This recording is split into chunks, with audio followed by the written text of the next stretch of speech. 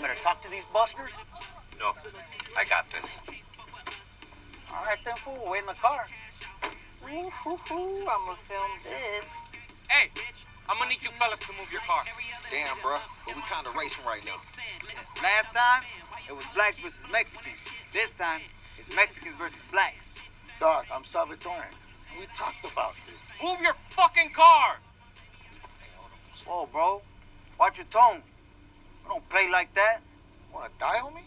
Yes! Please! Kill me, bitch! I don't live to live! What? I'd rather die than let you fools walk all over me. Because that's my thing. I focus on other people's problems to avoid dealing with my own. I definitely got some codependency issues going on with my ex-lady. Hey. Do you fools even know what codependency is? I just read about that shit. It sucks. I got a lot of work to do on myself and I don't want to do it. So just shoot me, please. Oh, fool. Chill. Don't even have guns. Then choke me, bitch. I hope you don't have lawyer hands because I also got a fat neck, which is something else I'm insecure about. Kill me. Do it. What the fuck is this fool doing? I don't know, but it's turning me on.